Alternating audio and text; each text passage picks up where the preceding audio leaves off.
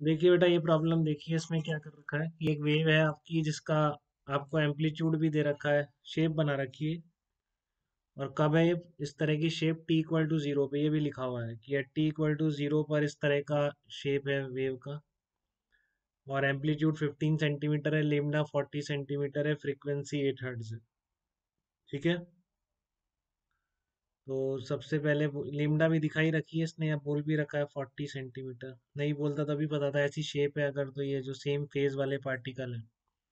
इनके बीच की minimum distance wavelength है आपकी। अब वैल्यूज़ रख दीजिए, देखो के क्या होता है आपको पता है लिमडा गिवेन है तो ये वाला भी तो फार्मूला है प्रिंदेशन हम ये लगा देंगे इसमें टू पाई बाई लिमडा ठीक है? टू पाई बाई लेमडा लगा देंगे, और ये टू पाई बाई लेमडा आप करोगे तो लेमडा कितना रखोगे? मीटर में अगर निकालना है तो four pi by forty by hundred करना पड़ेगा आपको, ठीक है? तो के की वैल्यू आ जाएगी forty centimetre, one by twenty metre minus one आ जाएगी, पाई बाई ट्वेंटी। मैंने उल्टा क्यों लिख रखा है? पता नहीं। फोर्टी सेंटीमीटर था, इसको अपन ने मीटर में कन्वर्ट कर लिया। तो two pi hundred upon forty, ऐसे ही तो आएगा कितना आएगा? ये फाइव पाई आएगा ना? Five pi metre minus one ऐसे आ जाएगा। मीटर माइनस वन यूनिट होती है के की two pi by lambda five pi metre minus one ये आपकी के की वैल्यू आ गई। ओमेगा कितना आएगा? ओमेगा होता है टू पाई एफ़ तो फ्रीक्वेंसी दे ही रखी है आपको एट हर्ट दे तो रखी है।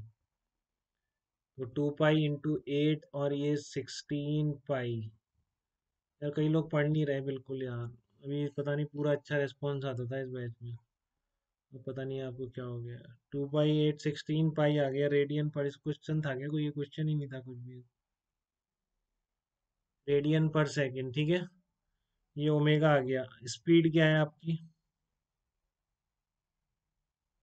स्पीड भी आ जाएगी लेमडा इंटू एफ़ आ जाएगी। लेमडा कितना है आपका? Zero point four frequency eight तो मैं बोल सकता हूँ कि three point two metre per second हो जाएगी। ठीक है ना? तो ये सारी चीज़ें हमने कर रखी बेटा, उसी से बोल रहा हूँ सारा मैं। ठीक है ना? के की वैल्यू ओमेगा और स्पीड ये सब हमने निकाल रखी है। अब आती है वेव इक्वेशन तो आपको टी इक्वल टू ज़ीरो पे दे रखा है तो एक्स इक्वल टू ज़ीरो का पार्टिकल प्लस ए पर है। फिर मैं वही जा रहा हूँ कि at X equal to zero अगर मैं वेव एस एच एम की इक्वेशन लिखूँगा तो क्या आएगी? पार्टिकल कहाँ पर है? प्लस ए पर है उसका। तो आपका जो सर्कल में पोजीशन कहाँ है, उस पार्टिकल की प्लस ए का मतलब है नाइन्टी पाई बाई टू ठीक है? तो आपकी एक्स इक्वल टू ज़ीरो पर इक्वेशन एस एच एम की क्या आ जाएगी, जिसको आप फिर वेव में कन्वर्ट कर दोगे? A sine omega T plus five naught pi by two आ जाएगी तो आपका वेव की इक्वेशन क्या है? बोल रखा है ना पॉजिटिव एक्स एक्सिस में जा रहा है। बोल रखा है इसने। कि sine wave is travelling in the positive X direction. तो sine wave positive X direction में जा रही है। ठीक है? तो इसलिए आप क्या बोल देंगे इसमें? कि टी को किससे रिप्लेस कर देंगे? पॉजिटिव एक्स एक्सिस में जाने की वजह से। Omega T minus X by V plus five by two. तो वैल्यूज़ आ रखी है। अब देखो, इसको आपने पंद्रह सेंटीमीटर में रखा तो वाई सेंटीमीटर में आ जाएगा। ठीक है ना, मीटर में रखेंगे तो वाई मीटर में आ जाएँगे। ठीक है ना, यहाँ पर ये सब सेम यूनिट में होने चाहिए। क्योंकि साइन के अंदर यूनिट आती नहीं है।